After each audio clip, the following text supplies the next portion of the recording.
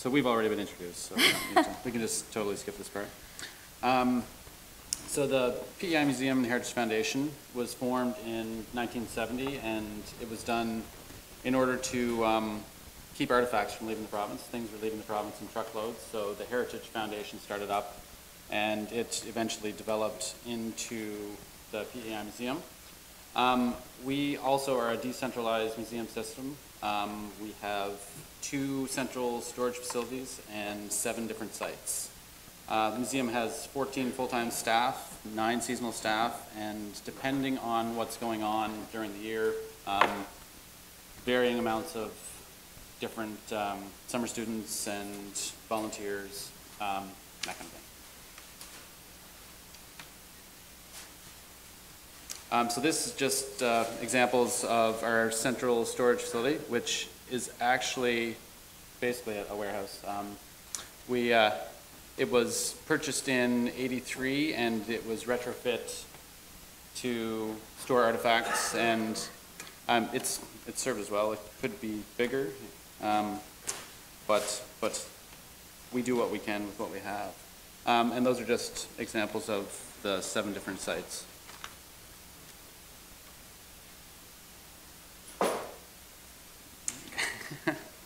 Um, We keep saying that we have about 80,000 objects, but it's probably closer to 100,000 objects now, because we get giant collections that come in all the time. Um, Approximately a quarter of these are on display at the seven different sites, and the rest are at the two storage facilities. Most of them are at the, uh, the Watts, the 77 Watts location, and the remainder, our large-scale furniture is all down the street in a space that we rent. Um, There's a broad range of items, everything from locomotives to, you know, buttons and arrow points and, and everything in between. Um, We collect everything that has anything to do with island history, so if it tells part of the story, then, then we collect it. Well, um, Some things that are, you know, part of extraordinary life, some things that are part of everyday life, and uh, all things that tell the story.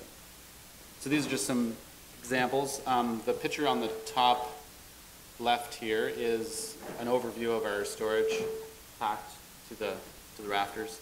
Um, And then just some examples of some of the kinds of things that we, that we have.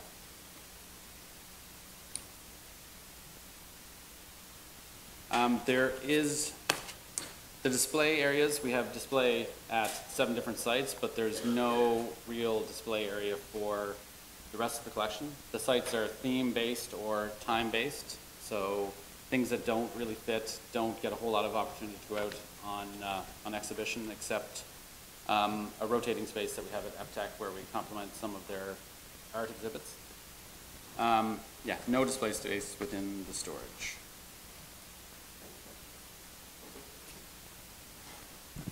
So um, the building floor plans, the building footprint is approximately 8,000 square feet.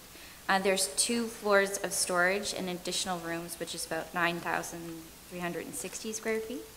And then for this project, we're, uh, there, the PEI Museum's looking at the two textile areas, which is about um, 1,600 square feet.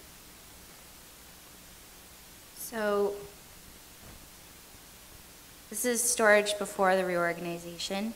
Um, we're making the best use of the area that we can. Um, There's some pipes and ductwork in the way.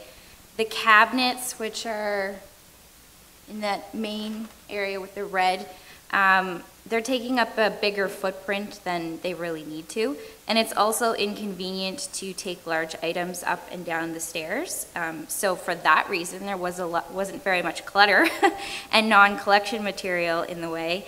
Um, and, but the other issue was that there's not a lot of swing space to work with.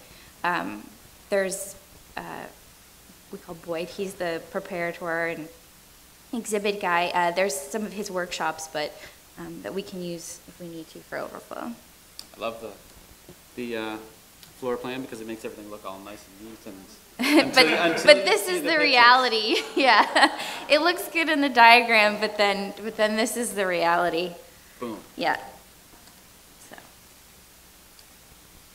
Um, this is the um, room that we're going to be reorganizing the textile room up in the top, and it also houses some rolled rugs. And then the plastic-covered areas are the shelving um, for the, for the textiles that we'll be reorganizing.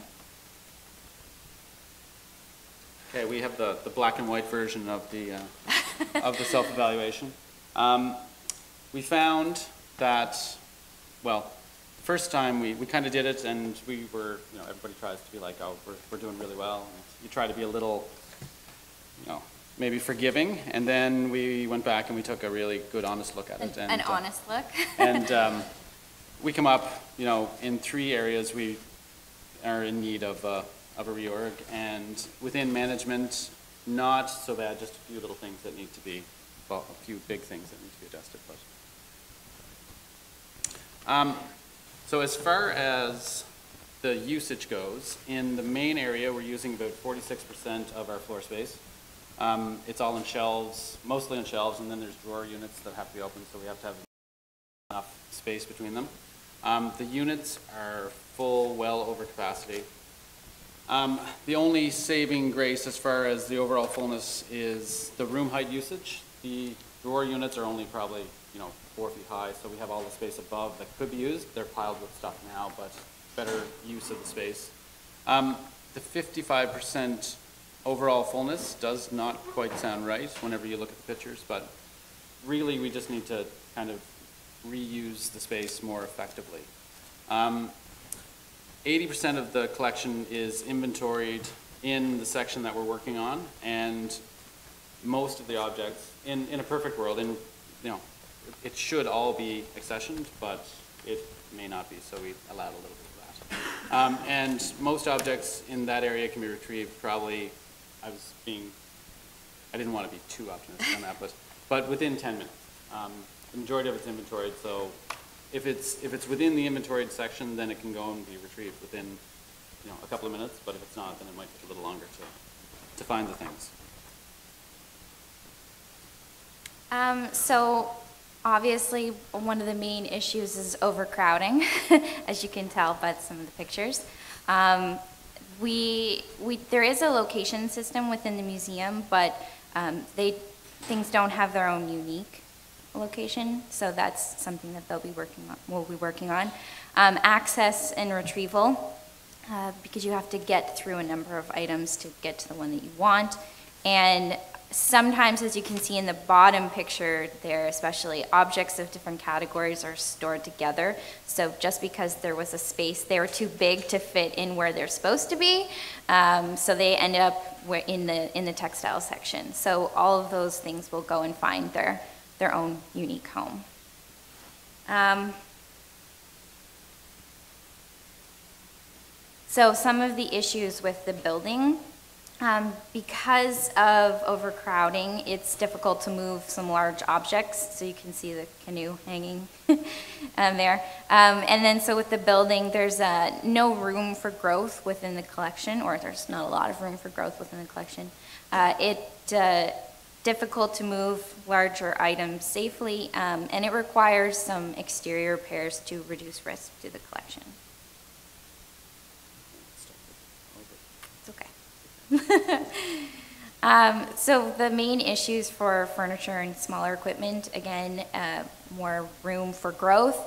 Uh, It's not always the most practical use of the floor space. Again, I mentioned these cabinets that you can see in the pictures.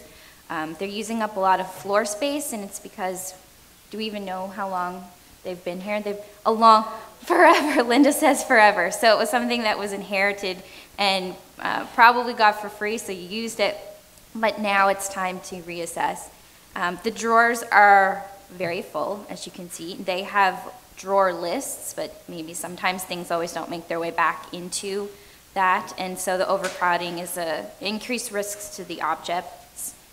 Um, And also the shelves with the blankets um, and quilts and textiles that we're doing are, again, overcrowded. Um, So with the, the main issues with management, um, inadequate resources. Um, There isn't always enough money to like go and buy new shelving, so we, have what we affectionately call Franken shelves. You can see that the tops are actually the runners for garage door system, and they just go on the top of the shelves, and we just keep going up as high as we can go up. Um, There's not enough trained staff on site at the storage, and there are discrepancies between the actual location and the database information. Because sometimes, we're so full that when things go back, they sometimes go back where they fit rather than where they came from. Um, And here's just a little illustration of one of our management issues. So this is the number of trained staff that we could use, and this is the number of trained staff that, that we have. And this, this would be the boss right here, so. I feel for you. Not, not you, Linda. Oh, here we go. So the urgent priorities are reducing the stress on the textile collection resulting from overcrowding, um, assigning specific locations for each item to enhance the retrieval and reshelving, um, remove inadequate storage furniture and rehouse the contents to make better use of the floor space, which we've mentioned, and regrouping the collections by category to improve access. So getting rid of some of those things that, because they fit, but they don't really belong there. Our, our reorg team, And then our, our, our actual reorg team, and then our real team. if it comes up. There. And that's a wrap.